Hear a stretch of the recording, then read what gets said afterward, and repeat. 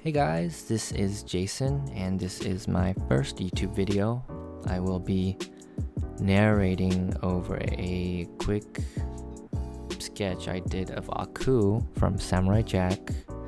If you're not, if you're uh, not familiar, go check it out. There's a new season out, and it's so good.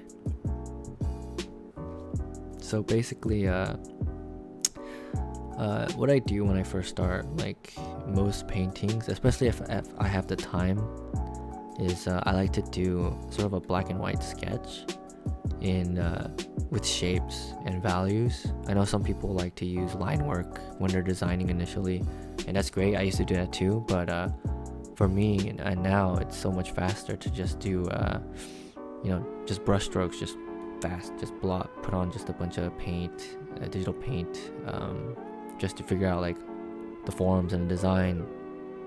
And I like to stick with the black and white because, uh, uh, you know, like if I have to think about color and all that stuff at the same time, it's such a, you know, it's a headache. Like it break just simplifying it and just starting with the black and white really makes it easier for me. And uh, I can really just, you know, there's, it's very non-committal. You could mess around with it. You can change it, warp, whatever, do what you want, since it's so uh, rough and at this stage. And uh, basically, well, you know, what I'm thinking about, like right now, is like, where is the lighting? Like, how is his face being lit up? Like, uh, what kind of things can I push to the front because it's lit, and what stuff should be in shadow, etc and that is all dependent on where the light source is. And in this painting there are two. I am doing a light from his you know his you know his flaming flaming fucking eyebrows are super bright. So that's one light source. And then also another one that's just hitting him just from off screen hitting, hitting his face.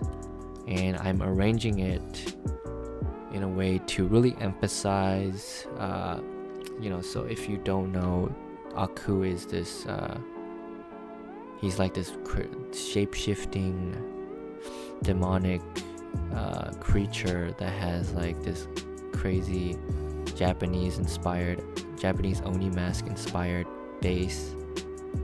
And so I really want to emphasize that. I want to make sure I get all those hard edges and those grooves and those creases to really make it look like he's got this crazy wooden scary face and uh, I mean now that I'm moving on to color you know I figured out like the light kind of basic just where the light source is and all that stuff.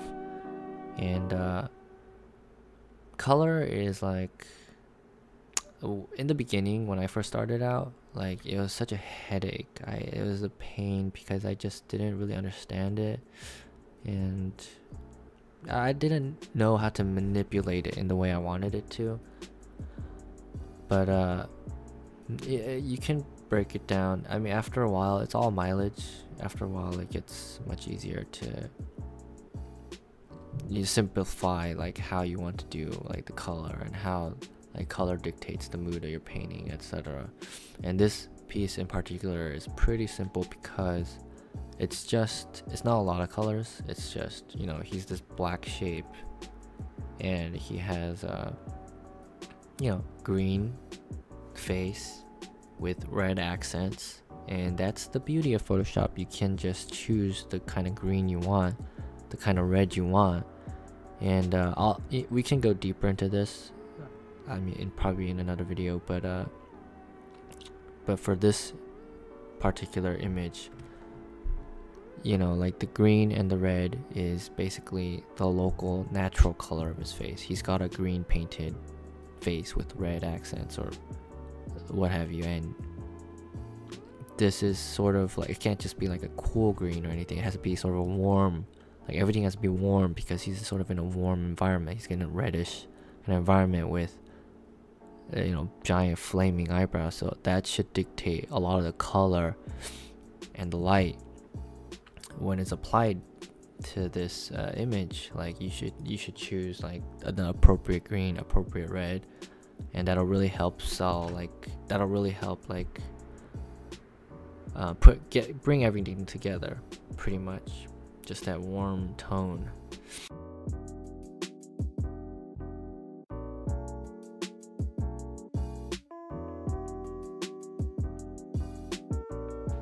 And another quick thing to note is uh, I'm trying to indicate like the different kinds of materials on his face. So he shouldn't look like he's made out of like plastic, like everything.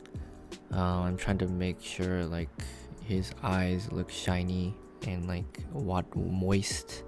His the fire should look like fire, and like his face, like the wood, should look like it's a sort of a matte finished sort of wood that's sort of painted on there should be like I, I added like little nicks. I'm adding like little nicks and things to his uh, teeth. Maybe they're a little bit rough etc etc um, those horns maybe they could be shiny or have like little scale like scaly texture on them.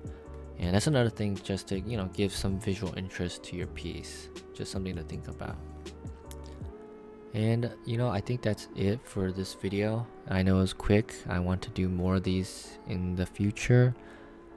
So if you have something you'd like to see or demonstrated or anything like that, please leave a suggestion in the comments below. I would really appreciate it. And uh, if you're interested in seeing more of my work or anything like that, you can check out my Instagram, my Facebook. I'll have all those links in the description box.